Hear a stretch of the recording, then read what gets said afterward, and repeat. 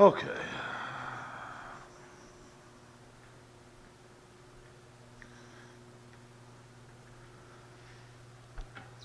You try it out, and see if the lens is pointed in the right spot. Yep. So what are we up to, cousin? Um, we have to install this little circuit, and I think I'm going to double stick tape it right here for now. Um, that controls the, that converts the signal coming from the control panel to a voltage which the spindle controller interprets for spindle speed. Um, do they make a case for that little circuit board? Or, Well, if you had a 3D printer, you would make me one. okay, What I am getting, it's on order from China, is you see these little gray things back here holding these boards on? This is called a DIN rail. This rail in the back is called a DIN rail. And these gray pieces snap onto it. And I have some coming that this will attach to those clips and it'll clip on this rail. okey doke. But no, I made this so there's no peckage for it. I just got to keep from shorting it out against the, well, the box is plastic, so I don't have to worry about that, I guess. But anyways, white is signal, which is going to that blue line. As you can tell by all the shit here, I've been experimenting with this for quite a while.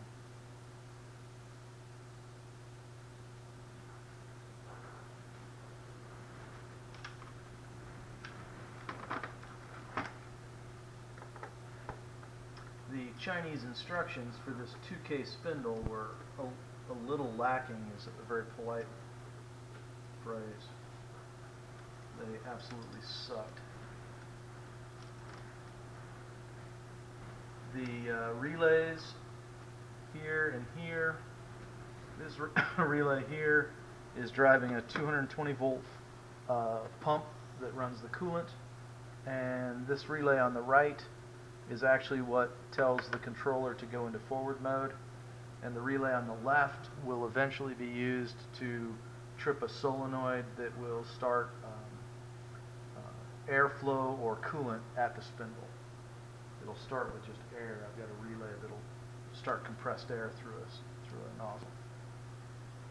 And then all that's controllable through M and S codes through the, uh, through Mach 1. Oh, shit.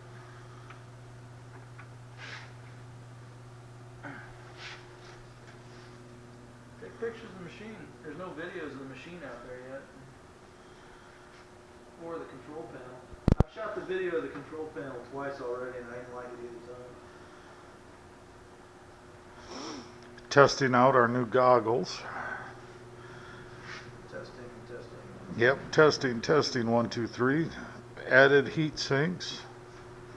Yeah, that, uh, that axis was getting warm.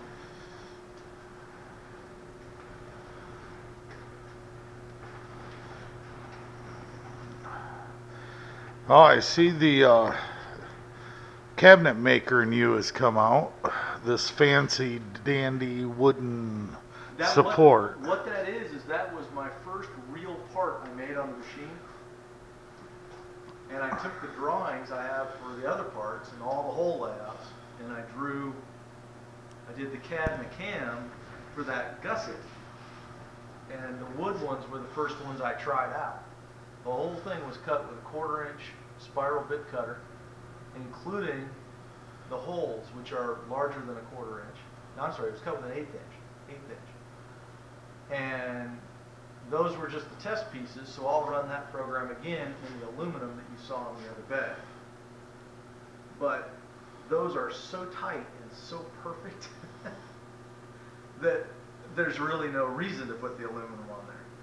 Now I know why guys build these entire machines out of wood, because if done right, they are very rigid. But Well, being a metal guy, yeah. Yeah, but dude, when you lay out all those holes and an eighth inch cutter cuts all of it and you take and set it up and the screws are all perfect.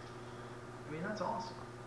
Yeah, it means you've done good, you know, engineering it, designing it, You had all the dimensions right. yep, you had everything right. Now you just gotta do it out of proper material. Now, all those holes and the other mating pieces, that was three pieces all coming together. So all those holes were machined in the exact spot by hand. And if he did not on prior videos explain this, these three holes here are oopses Where?